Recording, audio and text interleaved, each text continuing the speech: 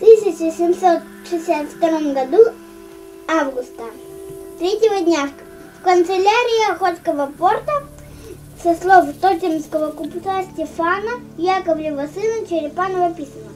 И построили мы на реке Камчатке по позволению В 1762 году, августа третьего дня, в канцелярии Охотского порта мною, тотемским купцом Стефаном Яковлевым сыном Черепановым писано.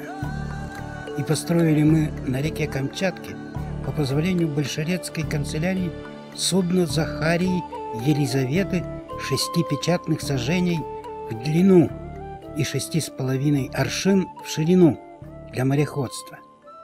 И 29 сентября 1759 года всего 42 человек вышли мы в Тихий океан.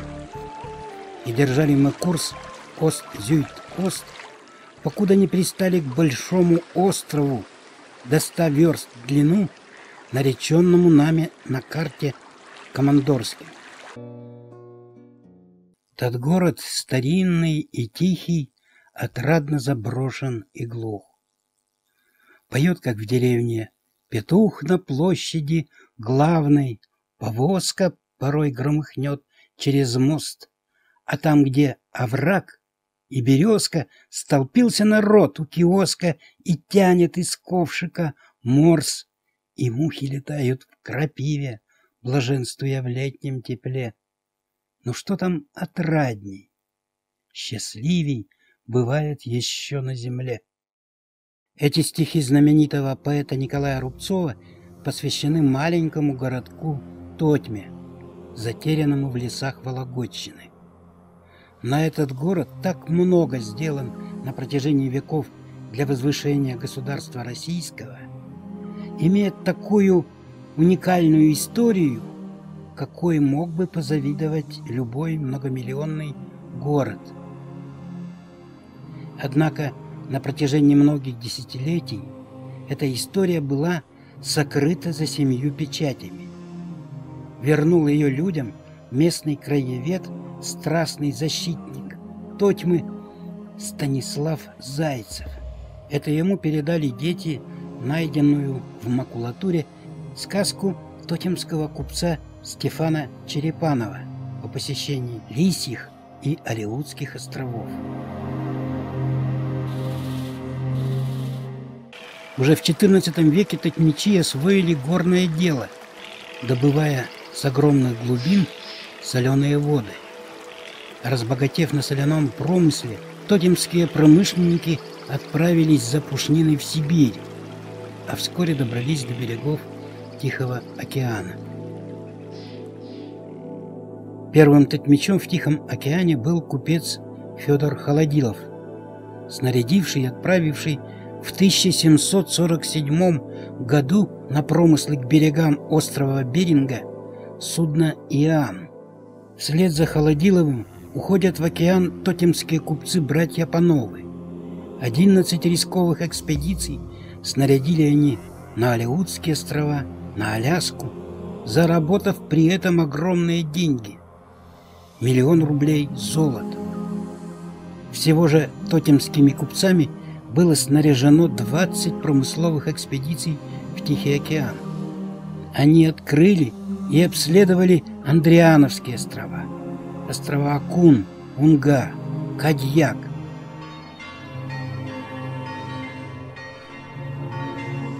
Возвращаясь из дальних и опасных путешествий, благодарность за милость Божью, купцы украшали свой город удивительной красоты церквами, который превратился в явленное белокаменное чудо среди дремучих лесов. Так появился собственный, неповторимый архитектурный стиль морских открытий – тотемское барокко. И вот из туманной бухты Новоархангельской, столицы русской Аляски, вышли два трехмачтовых судна «Святитель Николай» и «Кадьяк». На втором плыл верный помощник и правая рука правителя Русской Америки Баранова Иван Александрович Кусков – Ему было поручено отыскать тихие и удобные бухты для закладки в Северной Калифорнии крепостей, дабы под прикрытием которых выращивать в теплых и благодатных калифорнийских землях продовольствие для промышленников Аляски. Под руководством Ивана Кускова в 1812 году на американском континенте в Калифорнии на высоком берегу Тихого океана была заложена и в кратчайшие сроки построена крепость Рос.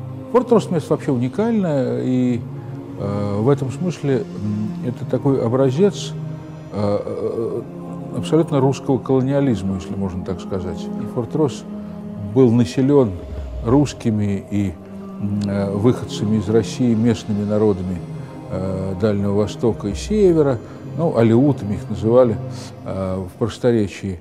И они, естественно, нашли довольно быстро общий язык э, с местными индейцами Кашая. И вот народ Кашая до сих пор помнит, например, что штаб-квартира русских помещалась в городе Тотьме в Вологодской области, и индейские э, вожди племени Кашая мне сказали, что вот народ Кашая хочет поехать в Тотьму.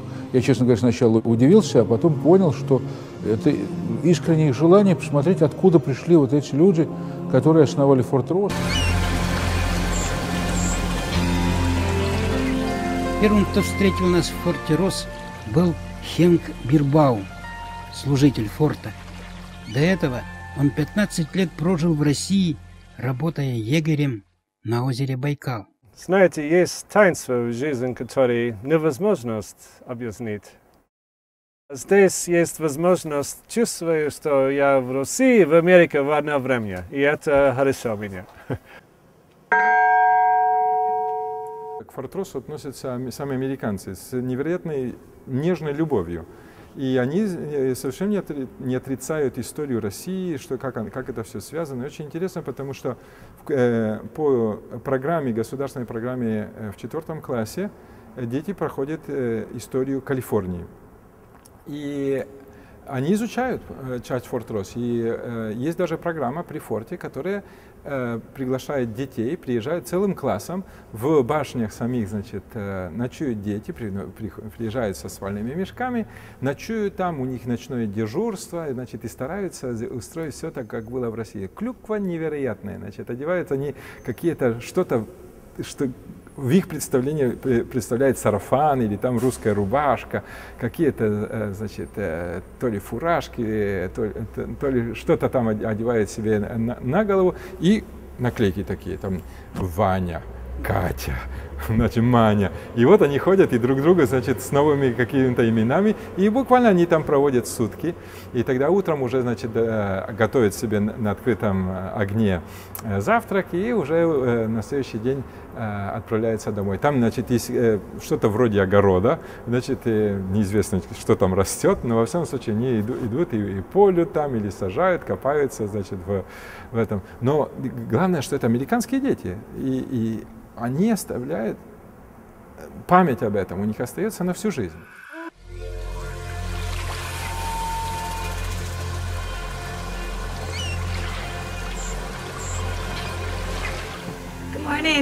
Доброе утро. Это утро мы встретили в лесном домике Робин Джой, служительницы Форта Рос. Вот уже 30 лет она работает с приезжающими в крепость детьми.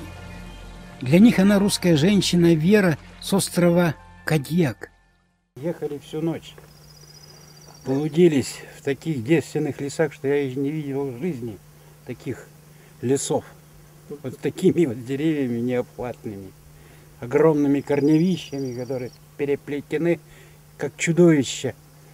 И в каждой деревеньке, где мы останавливались, встречали нас от всего сердца. В 1910 году в разгар экономического кризиса, испытывая финансовые трудности, правительство Калифорнии приняло решение о закрытии государственных исторических парков. В их число попал и Форт Росс. В поддержку русской крепости в Калифорнии включились многие известные люди как в России, так и в Америке.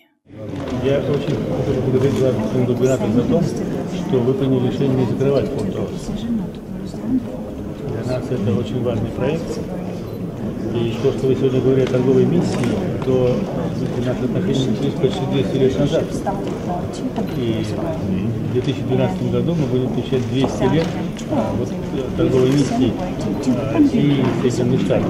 Я думаю, что вот основа того сотрудничества, наверное, будет, могут быть хорошей основой для сотрудничества в будущем. То, что вы сделали Форт Росс, конечно, имеет большое значение. Поэтому я хочу вас благодарить. Когда э, сегодня э, мы начали помогать восстанавливать форт Урос, когда появился фонд Реновы, э, фонд Виктора Виксельберга, который э, выделяет средства для э, восстановления форта Рос, то, конечно, очень хочется, чтобы это было э, ну, достаточно заметно. Причем заметно не только э, русским, а и американцам. Мы хотели бы сделать э, 12 июня, в День России, э, большой фольклорный э, праздник и в Форте Рос, и э, в Сан-Франциско, э, который находится ну, в двух часах езды от Форта Рос, представив всю палитру русской э, народной культуры от э, коренной Руси, от Вологды, от, потому что Вологда – это север России, это вот коренная Русь. Что же нам теперь тужить? Вы озера, широкие озера,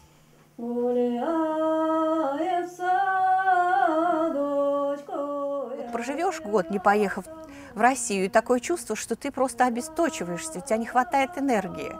И вот приезжаешь на эту родную землю, вот как Микола Селенинович, прикладываешься к ней, и тут же появляется энергия, можно там не спишь, ну, масса энергии, приезжаешь назад, глаза горят, душа полна э, приятных впечатлений, хочется заняться какой-то деятельностью, проходит год, и ты чувствуешь, как ты сдуваешься, как воздушный шарик. Наступает пора, как перелетным птицам, лететь назад на родину.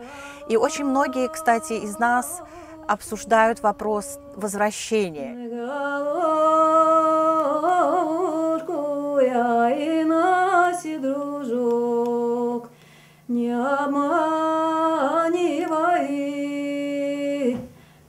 passé